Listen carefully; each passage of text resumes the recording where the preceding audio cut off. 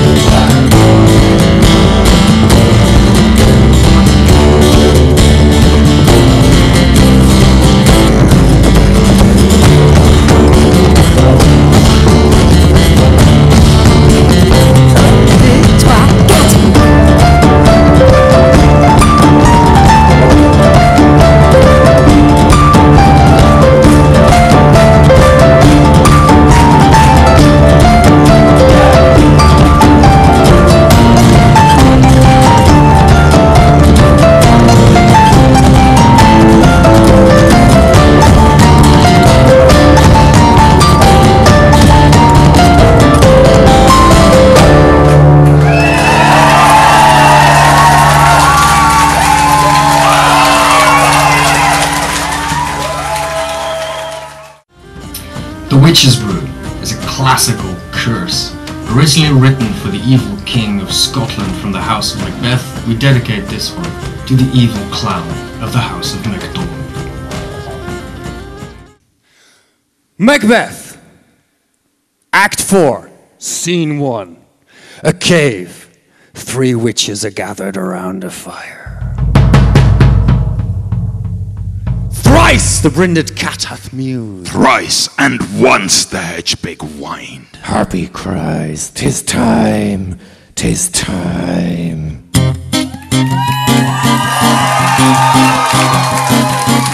Round about the cauldron go. Give the boys and lentils throw. Skin of toad and spike of bone. the dawn and eagle stone. Serpent, dragon, dancing dead effigy of beaten. Let double, double trouble you bubble in a witch's brew.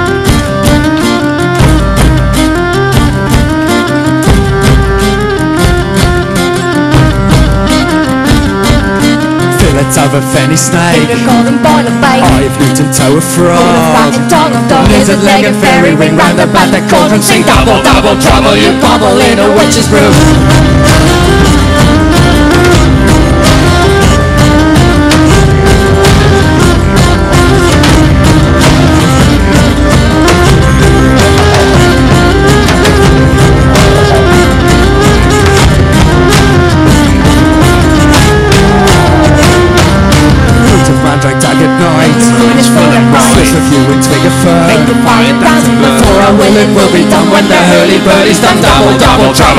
Bubble in a witch's brew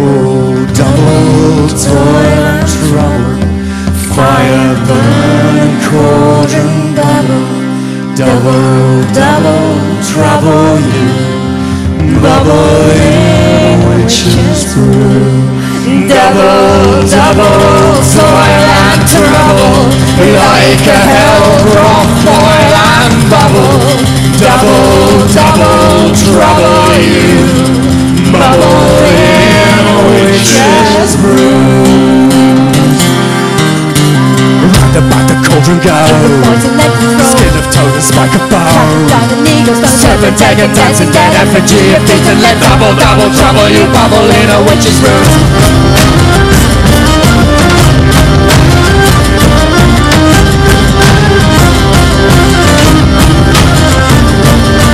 Let's have a fanny snake of bait. Eye and toe of frog Rat and dog of dog. Lizard leg and fairy ring round about the cauldron Sing double, double trouble you bubble in a witch's brew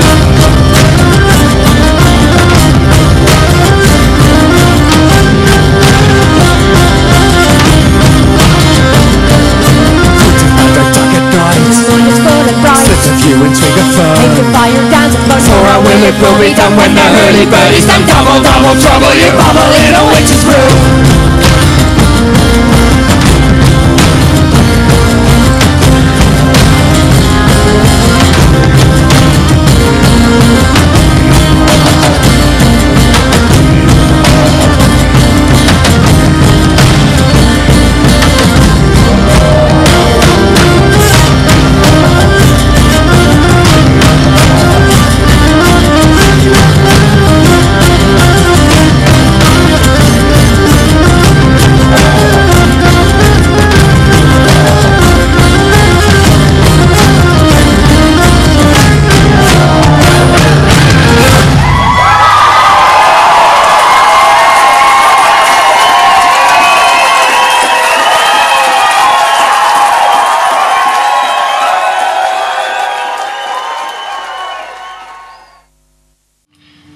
Next tune we wrote for our manager, Richard Parker, who's always with us on every gig. And Joe's gonna start it off for you with a beautiful slow air traditional called Were You at the Rock.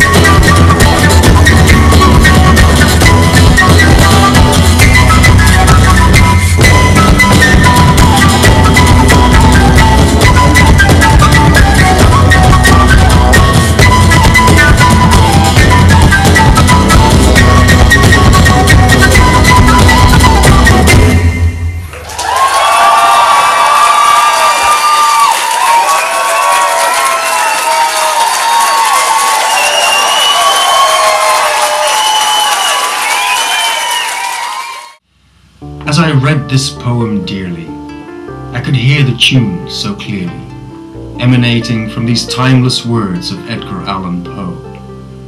Here a song lay, dreaming, dozing, through the centuries reposing, waiting for our deft composing to awaken it and show that these dark, majestic, deeply moving, ominous words of Poe are a song you need to know. Nevermore! The Raven by Edgar Allan Poe. Once upon a midnight dreary, while I pondered, weak and weary, over many a quaint and curious volume of forgotten lore, while I nodded, nearly napping, suddenly there came a tapping, as if someone gently rapping, tapping at my chamber door. To some visitor, I muttered, tapping at my chamber door. Merely this, and nothing more. Ah, distinctly I remember it was in a bleak December, and each separate dying ember wrought its ghost upon the floor. Eagerly I wished the morrow, vainly I had sought to borrow from my books surcease of sorrow sorrow for the lost Lenore, for the rare and radiant maiden whom the angels name Lenore, nameless here forevermore.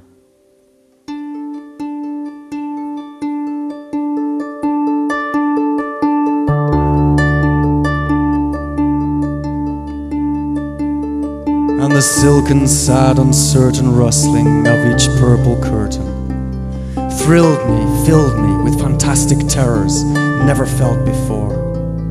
Presently, to still the beating of my heart, I stood repeating, "'Tis some visitor entreating entrance at my chamber door. Some late visitor entreating entrance at my chamber door. Merely this, and nothing more.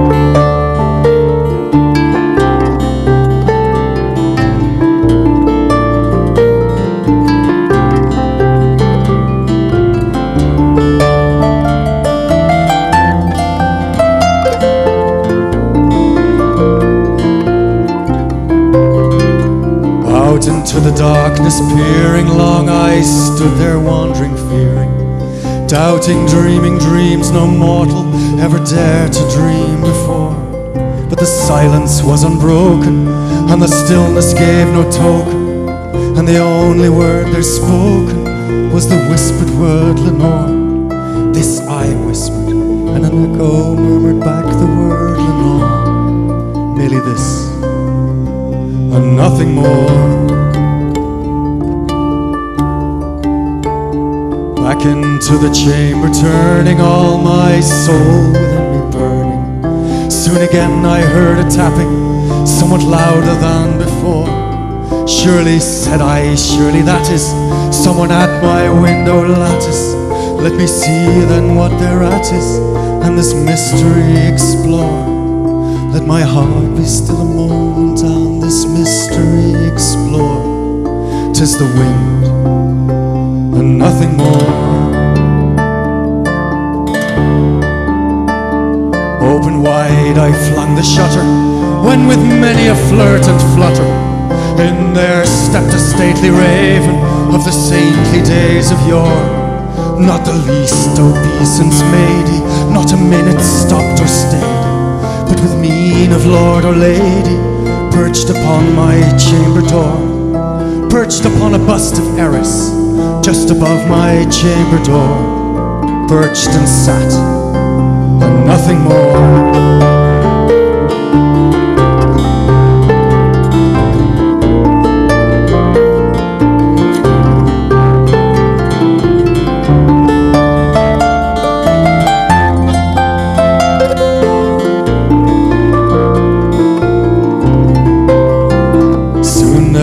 Bird beguiling my sad fancy into smiling by the grave and stern decorum of the countenance it wore Though thy crest be shorn and shaven, thou, I said, art sure no craven.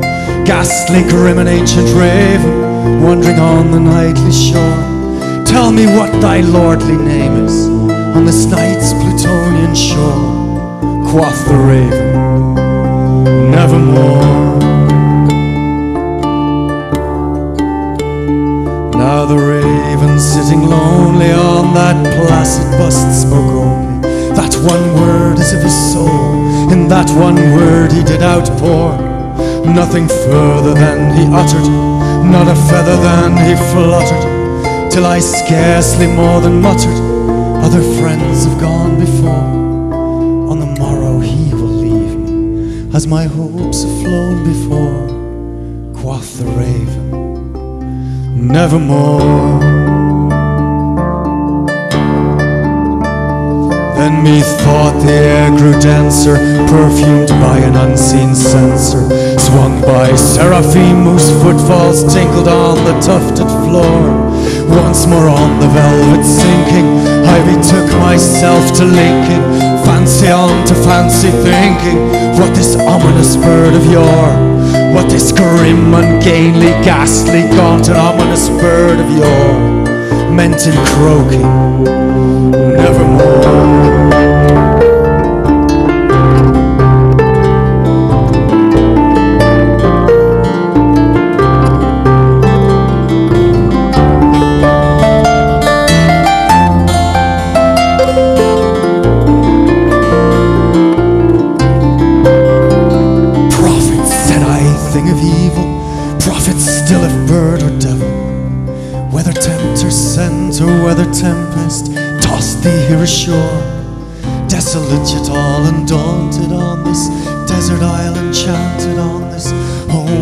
Horror haunted.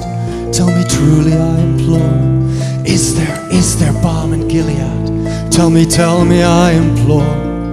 Quoth the raven, nevermore.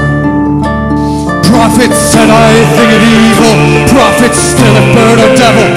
By that heaven stretched above us, by that God we both adore. Tell this soul, this sorrow laden, if within the distant Aidenn it shall clasp a sainted maiden, whom the angels name Lenore. Clasp her air and radiant maiden, whom the angels name Lenore. Quoth the raven,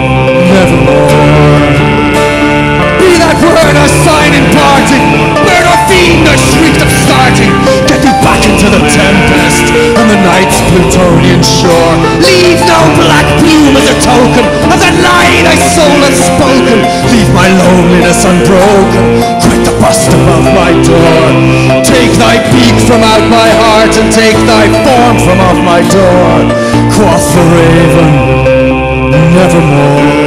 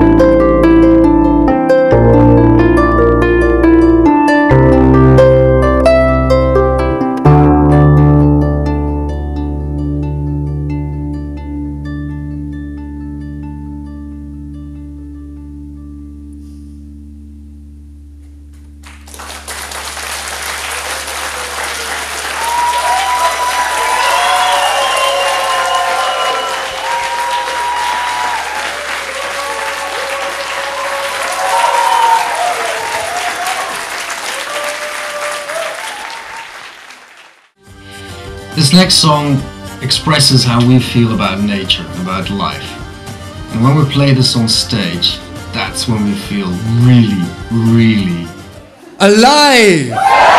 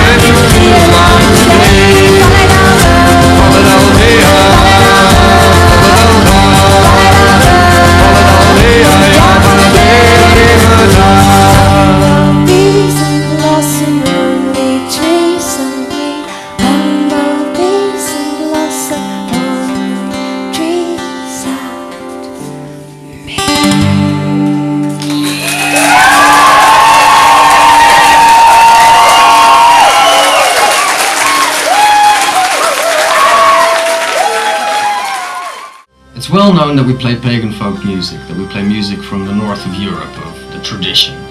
But sometimes it's cool just to try and grab something from outside of Europe, something from a different culture. Dil Gaya is such a piece. It's from Afghanistan, and we play it just to show that true music surpasses all politics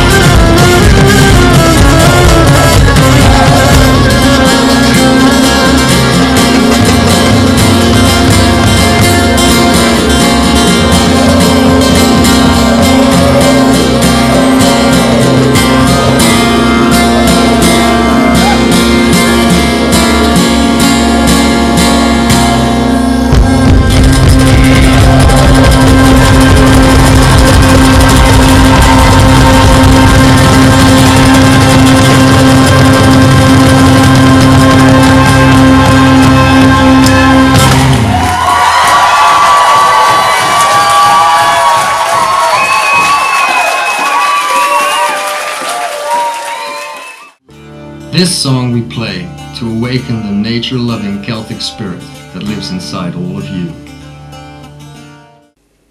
Let virtue distinguish the brave, place riches in lowest degree. Think them poorest who can be a slave, think them richest who dare to be free.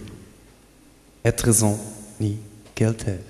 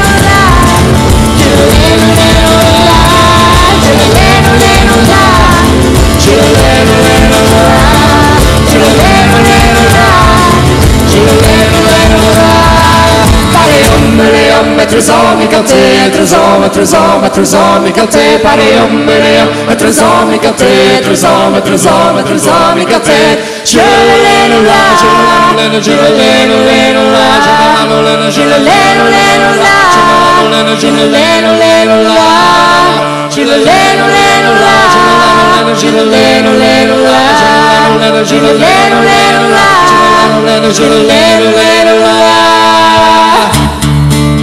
That is Joe. And that's Mitch. And here we have Luca. This is Jenny. And I'm Steve.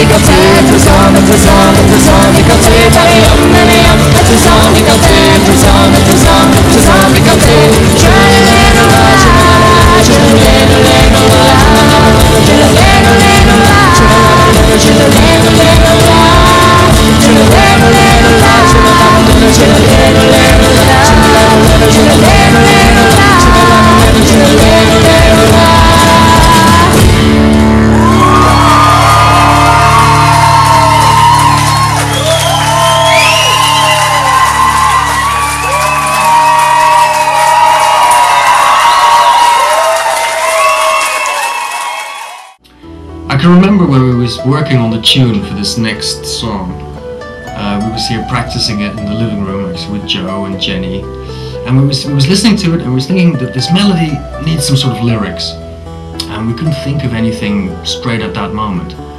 But that morning I'd been reading a book of Lewis Carroll uh, through the Looking Glass, and in there there's a poem, and suddenly it just popped into my head. I rushed upstairs, grabbed the book, ran back down again while they were still playing this melody, and I started reciting these words over the music, and it just fitted together perfectly. And that's how Fairy Tale was born.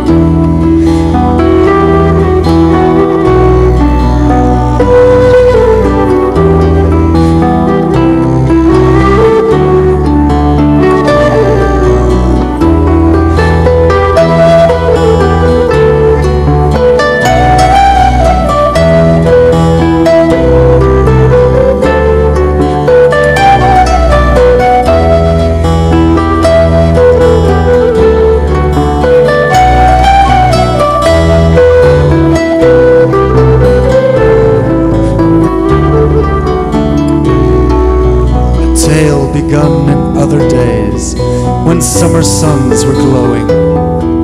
A simple chime that served to time the rhythm of our rowing, whose echoes live in memory yet, though envious years would say forget. Whose echoes live in memory yet, though envious years would say forget. Come hearken then, your voice of dread, with bitter tidings laden shall summon to unwelcome bed a melancholy maiden. We are but older children, dear, who fret to find our bedtime near. We are but older children.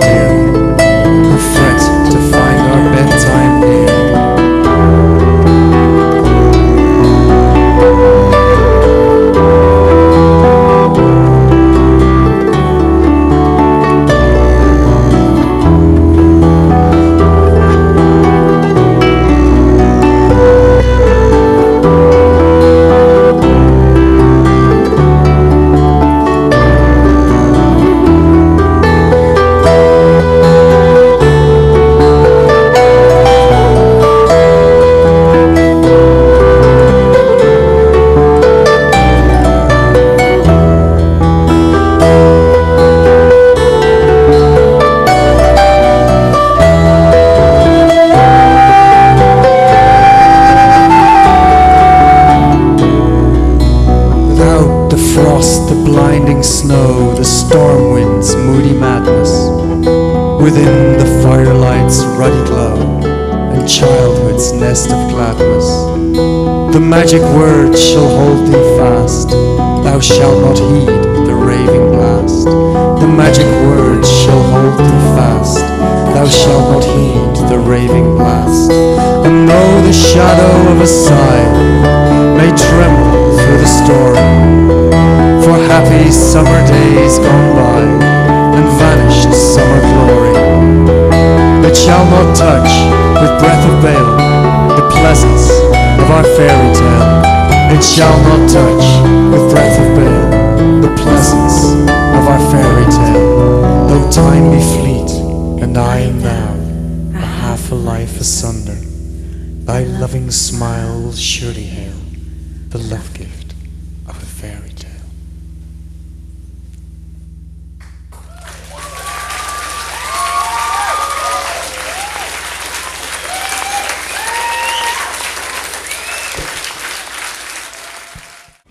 This song is a bit of prime pagan folk of the purest nature spirit. This is actually how I imagine a satyr would play a double flute. Saltatio.